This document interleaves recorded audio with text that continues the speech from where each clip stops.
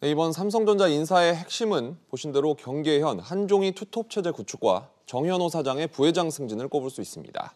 이들이 어떤 임무를 맡아서 뉴삼성을 이끌게 될지 계속해서 류선우 기자가 보도합니다. 경계현 신임 반도체 부문장은 삼성전자에서 메모리 반도체 개발을 주도하며 성과를 낸 반도체 설계 전문가로 평가됩니다. 특히 지난해부터는 삼성전기 대표이사를 맡아 역대 최대 실적을 이끌며 경영 능력도 입증했습니다. 경 부문장은 김기남 부회장이 초석을 닦은 시스템 반도체 비전 2030을 본 궤도에 올려야 하는 역할을 맡게 됐습니다. 한종희 부회장은 삼성TV를 15년 연속 세계 1위 자리에 올린 주역으로 꼽힙니다.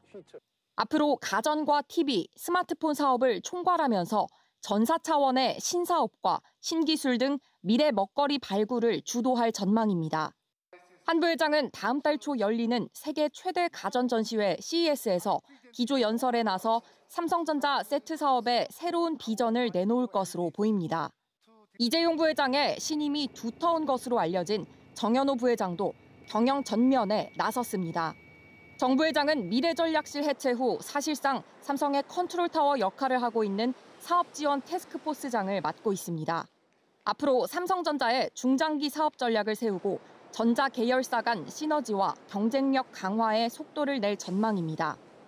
기존 3대 사업군을 2대 사업군으로 통합하면서 이른바 유삼성을 좀 더 효율적으로 가속화하겠다는 의지로 보여집니다. 또 이지영 부회장은 아직 사법 리스크가 남아 있어 그의 복심이라 할 수 있는 정현호 사장에게 힘을 실어준 것으로 보여집니다.